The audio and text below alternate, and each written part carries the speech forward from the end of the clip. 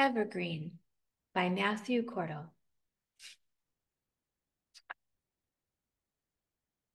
Part 1 Magic Soup.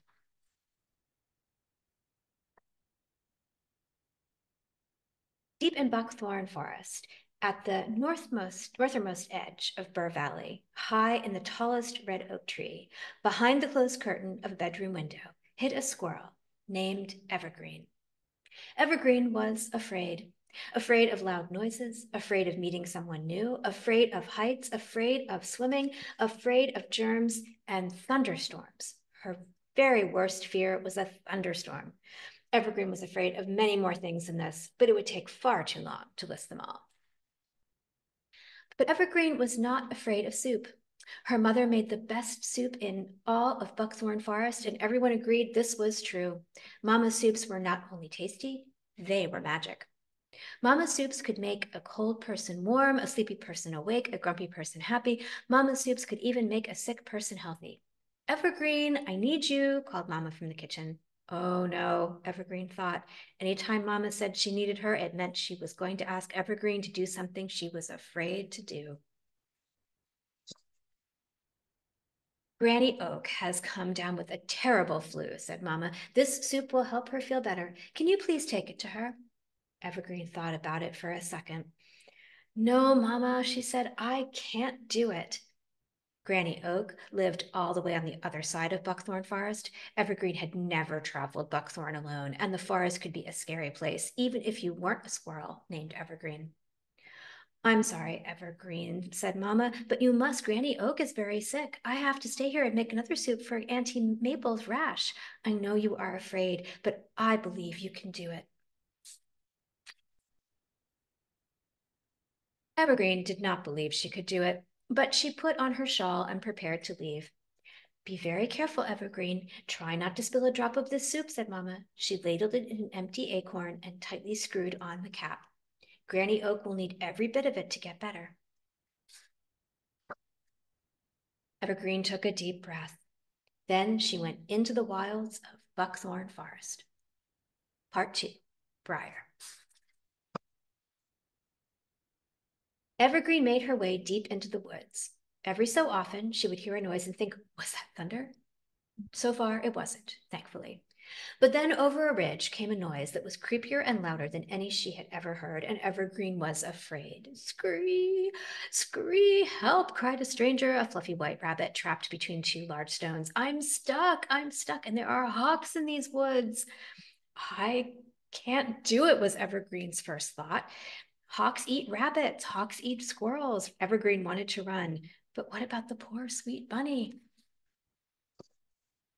She had to help. She had to try. Evergreen ran to the rabbit, and together they pushed and pushed and pushed until the massive stones moved apart.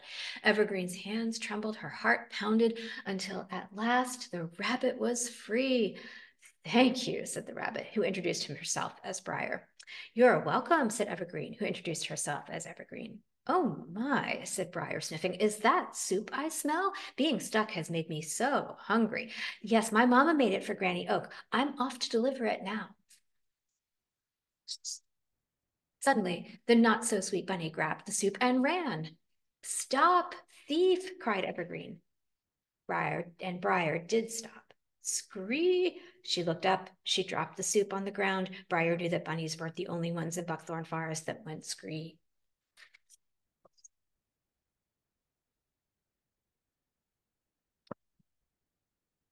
Briar disappeared into the woods. Every, Evergreen tried to hide too, scooping up the soup along the way, but she wasn't fast enough to escape the red-tailed hawk, who snatched her up with razor-sharp talons and climbed into the sky.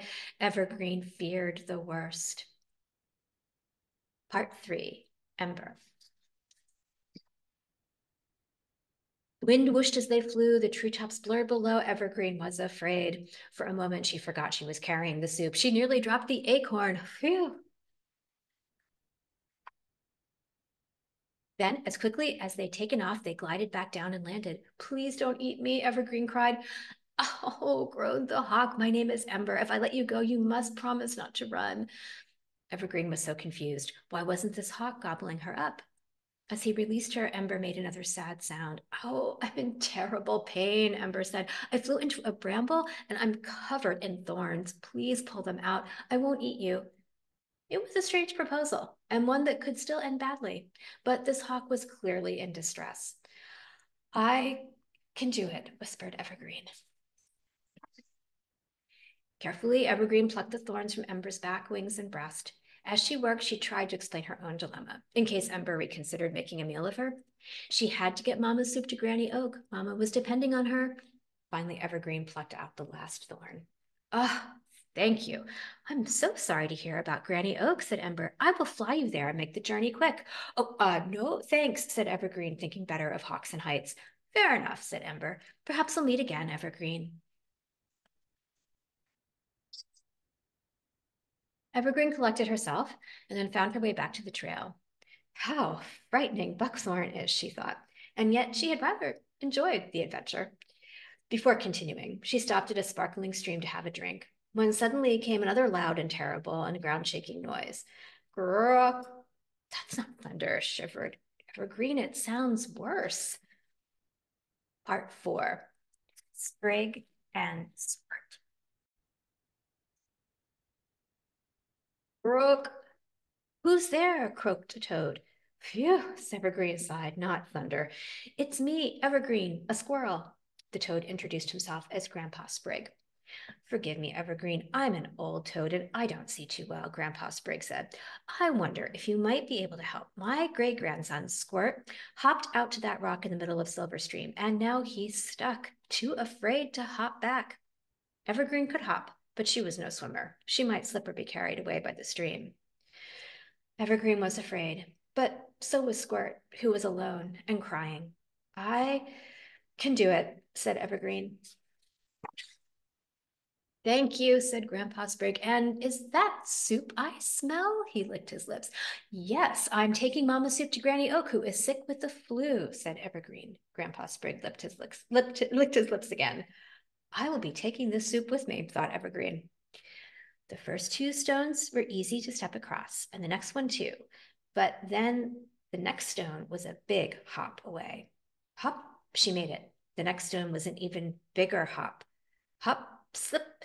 Evergreen nearly lost the soup, and she almost fell into the water. There was just one last long leap to Squirt's Rock. Uh oh, she thought. I hope I make it.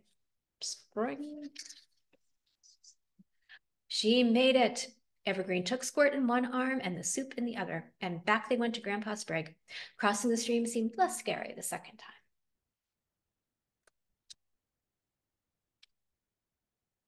Evergreen continued through the buckthorn, far, through buckthorn forest, encountering strange noises, meeting new friends, dodging a few enemies, and nearly losing the soup at every turn.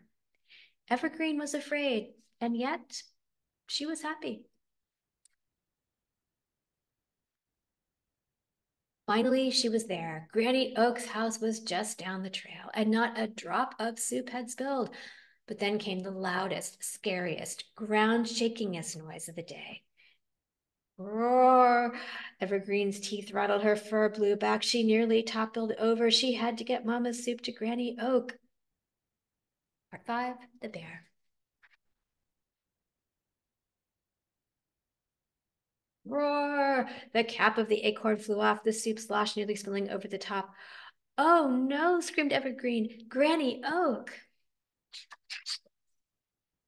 The bear slumped to the ground and sighed. Granny Oak, said Evergreen, you should not be out of bed in your condition. Mama made this soup especially for you. Evergreen screwed the cap back onto the acorn. Let's get you inside. Evergreen put Granny Oak back into bed and tucked her in. Granny opened her mouth and Evergreen fed her every last drop of the soup. It was still hot. Thank you, Evergreen, said Granny. I'm feeling better already. You were very brave to come all the way here by yourself. Evergreen smiled. She didn't say a word, even if she agreed.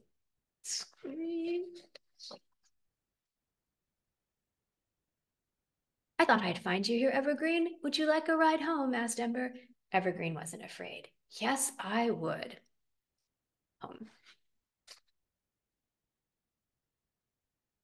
Evergreen was excited to tell Mama about her adventure and all the animals she had met and the problems she had solved. She hung up her shawl and headed to the kitchen.